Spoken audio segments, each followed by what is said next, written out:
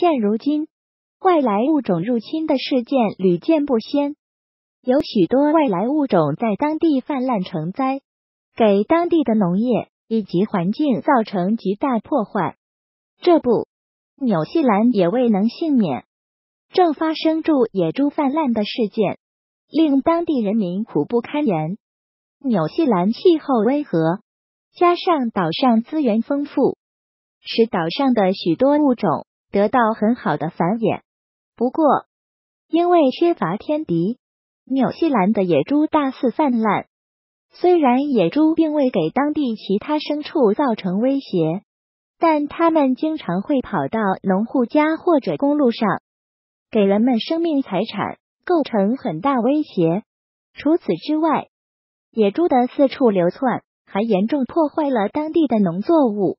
为此，纽西兰政府不得不下令屠杀这些野猪。